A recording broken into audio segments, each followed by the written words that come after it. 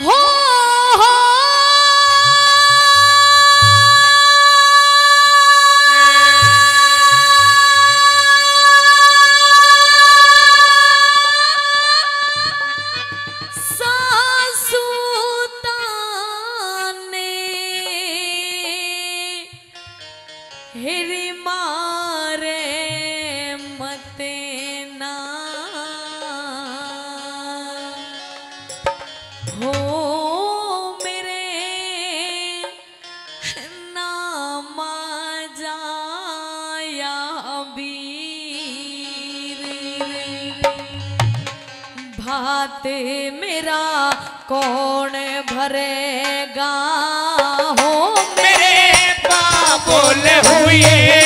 फकीर बात मेरे कौन भरेगा। मेरे बाबुल हुए रे फकीर।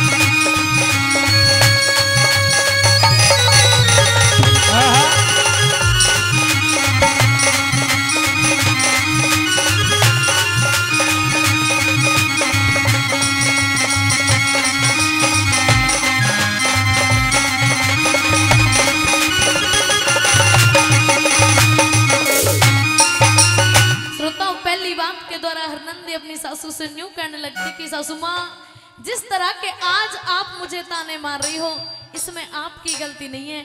क्योंकि जैसे ताने तुम दे रही हो न्यू कहते कि गोली के घाव बढ़ जाते पर कभी बोली के घाव नहीं बढ़ते। कि ये समय खिलाए खेल मनुष्य रोता है। कि ये समय खिलाए खेल मनुष्य रोता है और उस नर से बड़ा बलवान समय होता है। सुनेगा पहली बात के द्वारा बोलने के ये बताया। वे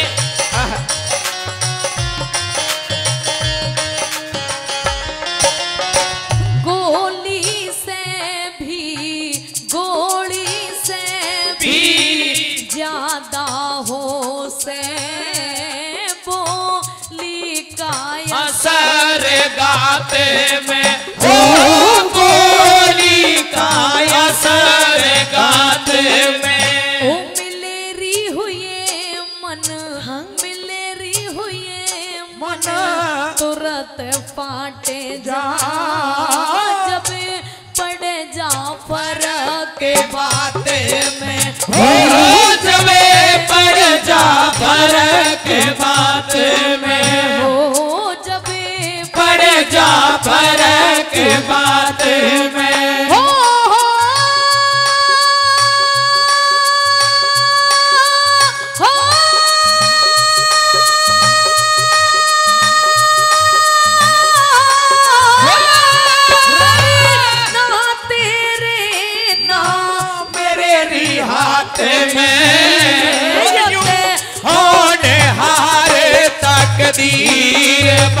बात मेरे कौन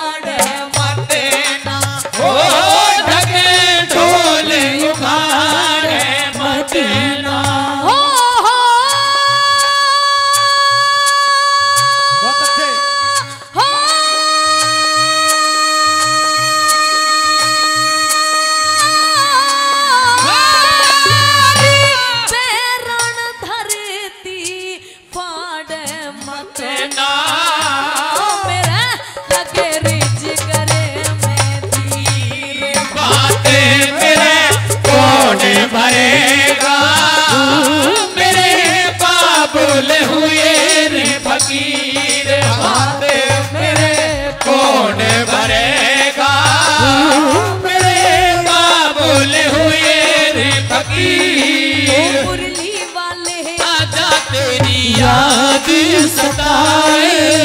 राय भरोसा कहीं टूट न जाए। मुरली वाले आजा तेरी याद सताए। मेरा ये भरोसा कहीं टूट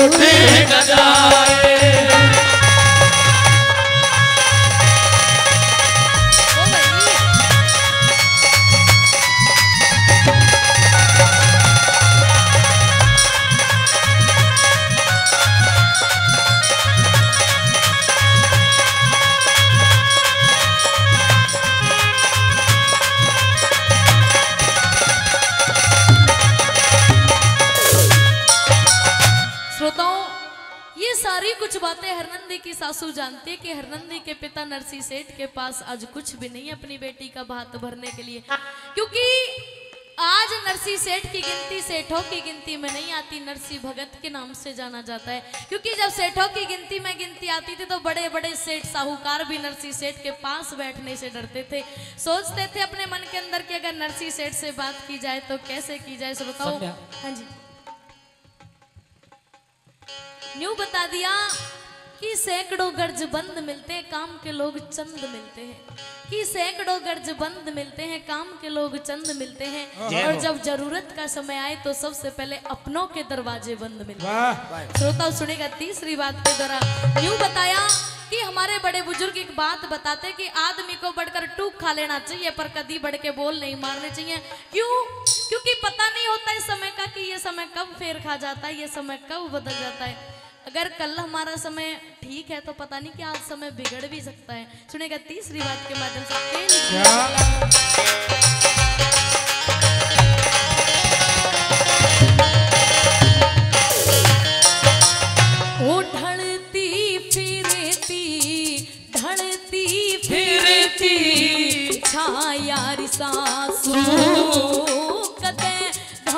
घमंड न कर हारी करे से हो।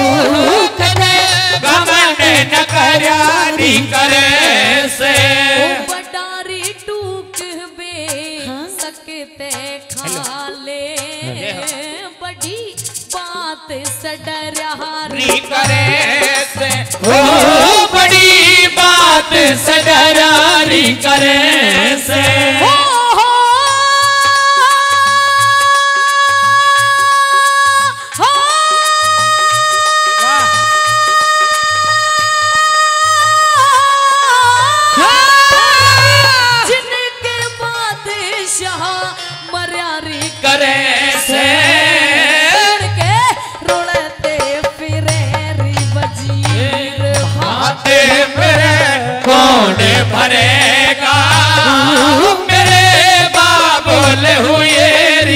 फकीर बात मेरे कौन भरेगा?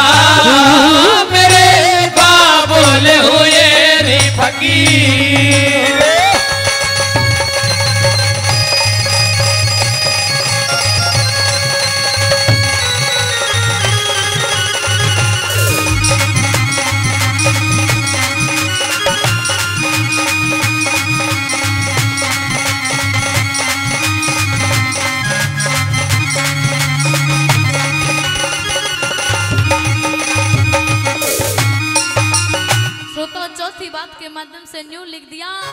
सासू माँ, ऐसे ताने मत मार। अरे, अगर मेरे बाप के पास कुछ भी होता तो मेरे पिता अपने आप मेरा भात भरने, मेरा भात भरने के लिए आते। मुझे ऐसे ताने को सुनने की ज़रूरत आपसे नहीं पड़ती। लेकिन ये समय समय की बात है कि किसी दिन नरसी सेठों की गिनती, सेठों की गिनती में आती थी और आज नरसी सेठ के पास अपनी बेटी का भात भरने के लिए भी कुछ नहीं है। क्योंकि नरसी सेठ के पास किसी भी चीज़ की कमी नहीं थी। लेकिन उसे इस धन दौलत से कुछ नहीं लेना देना इस दुनियादारी से कुछ नहीं लेना देना। अगर ध्यान किया तो सिर्फ़ ठाकुर जी के चरणों का ध्यान किया बाकी इस दुनिया से उसे कुछ नहीं लेना। क्योंकि नरसी सेठ को ज़रूरत है तो सिर्फ़ श्याम नाम की ज़रूरत है बाकी दुनियादारी की ज़रूरत नहीं है। इतनी सारी धन दौलत छोड़ के ठाकुर जी के चरणों में नरसी जी ने प्रीत लगाई। यहाँ तक कि श्रोताओं इसीलिए तो कहते हैं कि भाई की ज़रूरत सबसे पहले बहन को पड़ती है। और जब तक जीवन होता है, जब तक पीहर में भाई की ज़रूरत पड़ती है एक बहन को। इसलिए पीहर में एक भाई होना बहुत ज़रूरी है। और यहाँ तो हरनंदी की नाई तो माँ है, ना ही भाई है पीहर में। श्रोता, जो चौथी बात के दौरान यूँ कहने लगती है कि अपने वो नहीं होते जो तस्वीरों में साथ खड़े होते हैं। कि अपने वो नहीं होते जो तस्वीरों में साथ खड़े होते हैं। अरे अपने तो वो होते हैं जो तकलीफों में साथ खड़े होते हैं। क्या बात? सुनेगा चौथी बात के ये बताया। आह, जय हो।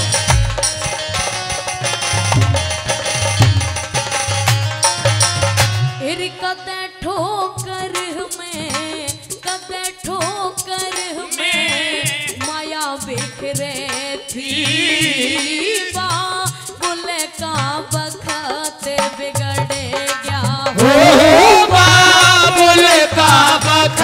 बखत बिगड़ गया कुछ भी कह ले कुछ भी कह ले मजबूरी में गुरु चंदर सुनना पड़ ओ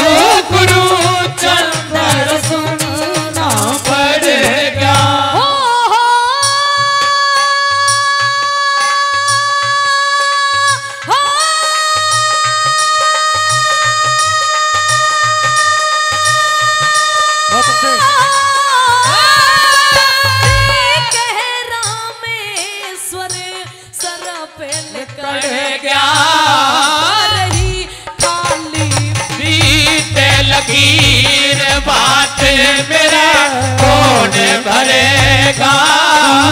मेरे बाबुल हुए फकीर बात मेरे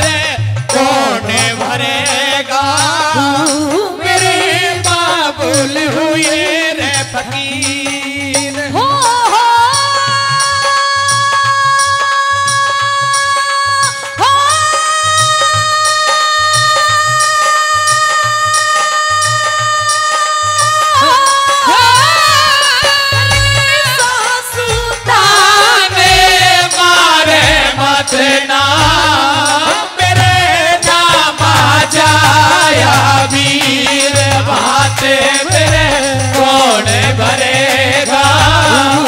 मेरे काबुल हुए ने फकीर बात कौन भरेगा? मेरे बाबुल हुए